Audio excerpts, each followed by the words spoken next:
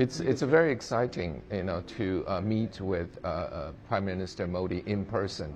His leadership is exceptional, you know. For the past, uh, this is his third term, right? For the past two terms, you can see that India has become one of the, the major uh, player globally, the fifth largest uh, the, the economies in the world.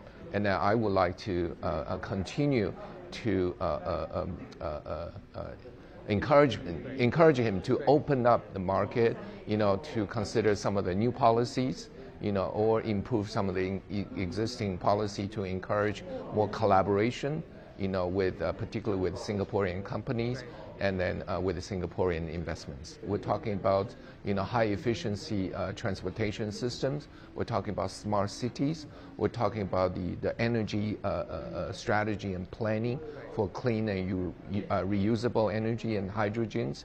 And then also the other very important sector is aviation. With the the population growth, you know we'll see the aviation related Uh, uh, infrastructure will be uh, in high demand. So these are the uh, areas, and of course, the the most critical part is really the sustainability, and and we need to be very mindful about how to design and plan and build the future cities in everything in a very sustainable way.